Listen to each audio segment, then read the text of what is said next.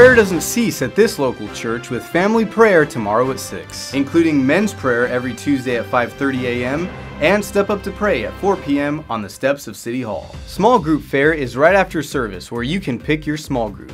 Now let's go to the weather room for the upcoming revival for this week. Well, revival isn't just on its way, revival is here, with evangelist Sammy Sherrill coming right on into our Family Sunday service. Now, he'll also be here next Wednesday, Friday, and next Sunday with possible baptisms and a 100% chance of the outpouring of the Holy Ghost.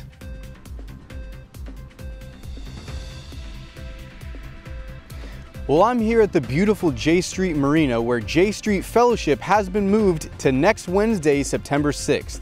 Congregation, please be advised that J Street Fellowship has been moved to September 6th due to upcoming revival.